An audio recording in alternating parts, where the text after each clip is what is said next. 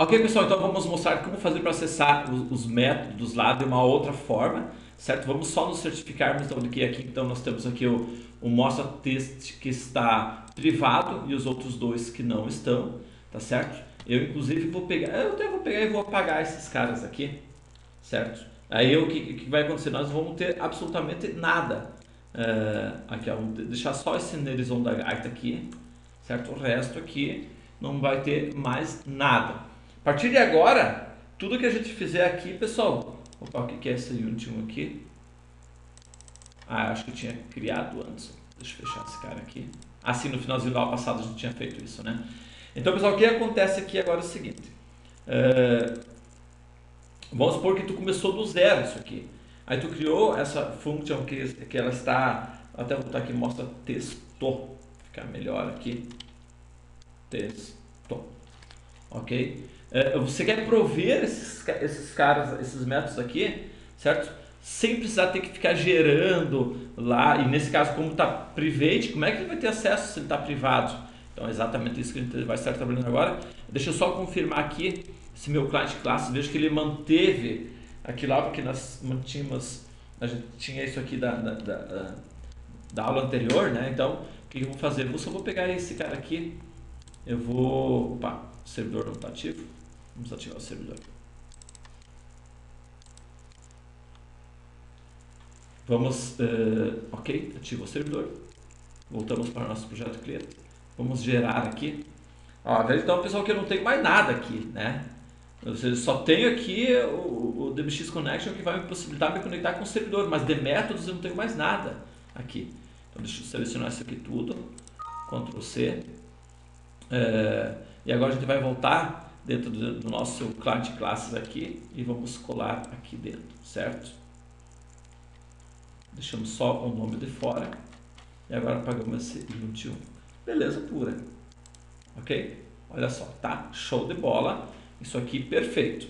É, vamos voltar para o nosso client módulo aqui.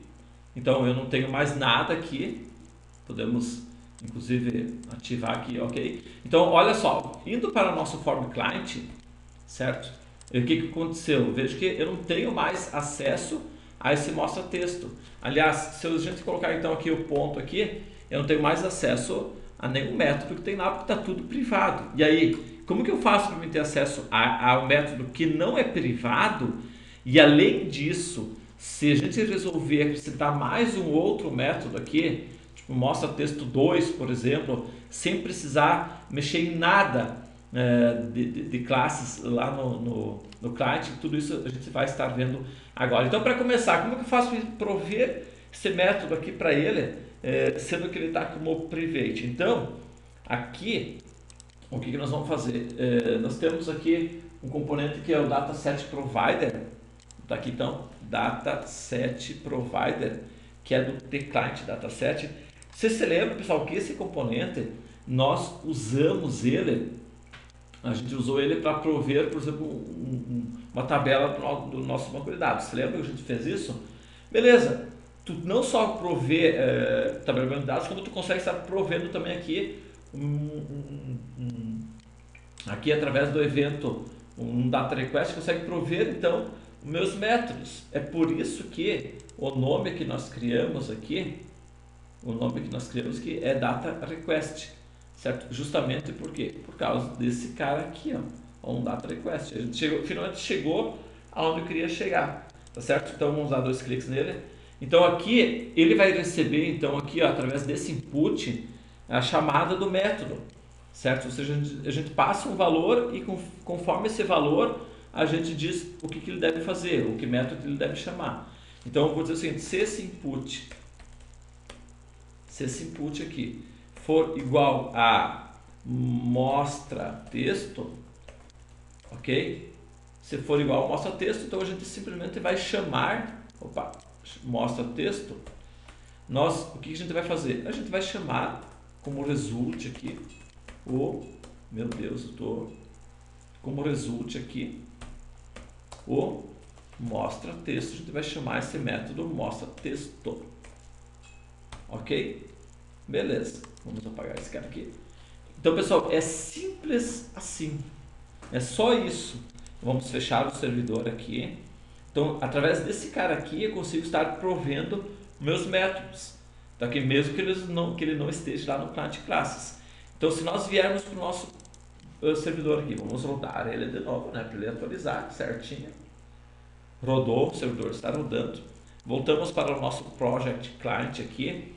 E aqui no Project Client, dentro do, do meu Client módulo, nós vamos ter que é, a gente vai ter que então, botar algumas coisas aqui para que, para que a gente consiga então, ter acesso a esses métodos. Então, da mesma forma é, que a gente, é, a gente colocava lá o dataset provider, é, provider connection e o client dataset para pegar os dados do banco, a mesma coisa a gente vai fazer aqui para pegar os métodos. Então, a gente vai colocar aqui primeiramente um provider connection dataset uh, provider connect, uh, aliás, aqui ó, esse aqui ó, data snap client, esse cara aqui, em que nós vamos ligar com esse cara aqui, deixa eu ver, deixa eu ativar, uh, vamos ligar então com esse cara aqui, e aqui no server class name é a mesma coisa, a gente vai pegar aqui o server métodos e vamos pegar aqui esse cara aqui para a gente poder botar lá. Então, aqui, Ctrl V. Beleza pura. Então, ok. Agora, pessoal, o que, que a gente vai fazer? Para a gente poder ter acesso aos métodos, agora a gente coloca um client dataset em que nós vamos configurar aqui o remote server, ou seja, vai pegar esse nosso DS provider connect 1, que é esse, que é esse cara aqui, tá?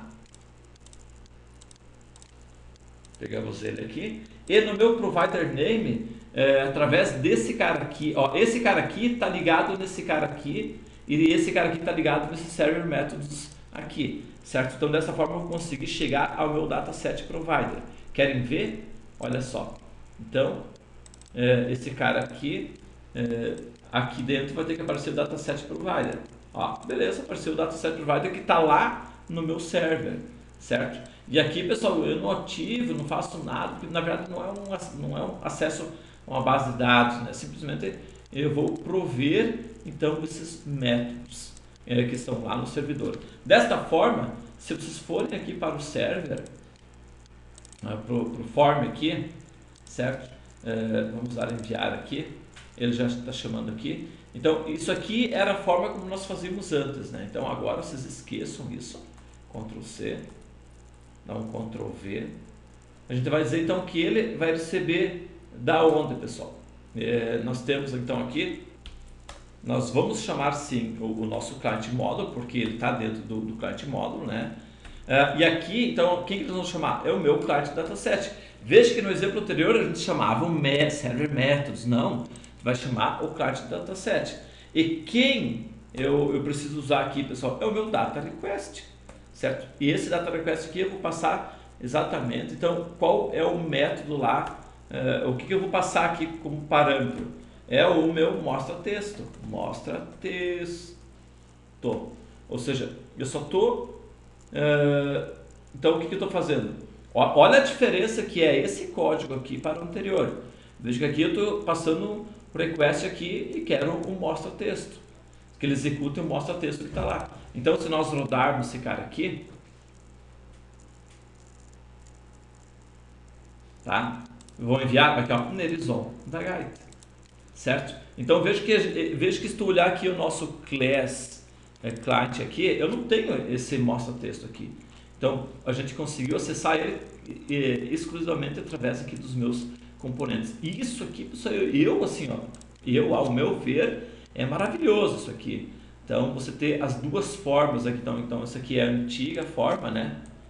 Antiga forma, né? usando então as classes e agora então usando aqui os componentes. Mas qual é qual que qual é a real vantagem disso aqui, pessoal? A real vantagem é que se você se você vier aqui, ó, se você vier aqui no, no, no, no server métodos aqui é, você resolver criar aqui um, sei lá, um mostra texto 1, né? Você criar aqui um mostra texto 1, ok? Vamos dar um Ctrl C, Ctrl V nesse mostra texto aqui. Ctrl V, mostra texto 1. É, botar aqui então. É, Giulia dos Bailes. Minha filha gosta do fandango nos TG, então Giulia dos Bailes. Se você fizer isso aqui, cara, e você rodar aqui o teu servidor, você não precisa atualizar nada lá no client. Opa, desculpa, eu tô, eu tô com o client selecionado. Vai dar o erro aqui. Vamos voltar ao servidor. Se você rodar o servidor aqui, você não mexe na estrutura do client, pessoal. Não precisa é, é, é, gerar nada novamente aqui no client. Você não precisa fazer nada, certo? Vamos dar aqui um outro botão aqui. É, vamos pegar, vamos pegar um outro botão aqui. Eu vou dar um Ctrl C, Ctrl V nesse cara aqui. Opa, deixa eu botar um outro botão aqui. Esse cara aqui, então, vai chamar o, o mostra texto 1, certo? Então, mostra texto 1, ok? Então, o que, que nós vamos fazer? É, se você acrescentou uma, uma função lá em cima, aqui tu só vai chamar ele aqui, ó. Ctrl C, Ctrl V. Já vamos chamar aqui o mostra texto 1, certo? Vamos rodar ele aqui. Vamos chamar aqui o mostra texto 1. Deixa eu só ativar aqui o... Uh, fazer aqui a atualização aqui no meu client módulo aqui. Certo? Vamos ativar ele aqui de novo. Certo? Aqui, aqui não precisa. Ah, mas espera aí, eu esqueci de uma coisa. Uh, boca aberta. Nós temos que atualizar aqui no nosso... Uh, a única atualização que tu vai fazer é esse cara aqui, ó. Né? Vai dar um else aqui.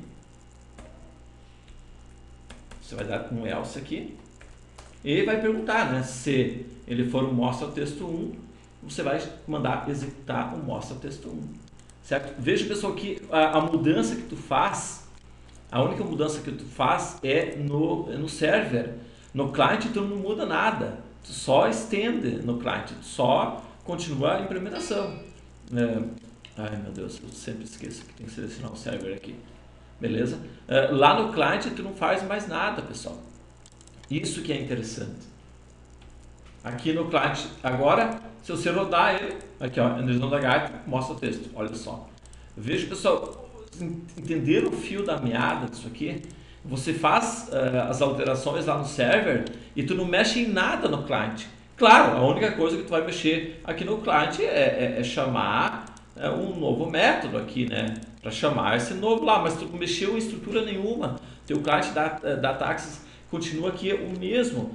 Inclusive está tudo encapsulado, que é uma coisa muito interessante na, na orientação a objetos, que eh, nos exemplos anteriores, ficava aparecendo aqui para os clientes os métodos aqui. Veja que agora um cliente que teria acesso, ele não consegue visualizar nada dos métodos aqui, porque está tudo lá no servidor, certo? Então está encapsulado os dados, os métodos, eu não sei o que está fazendo, não sei que parâmetros precisa, isto é encapsulamento. Então, pessoal, e, e, e é mais uma forma então de vocês estarem trabalhando aqui com o DataSnap, show de bola. Um abraço e tchau!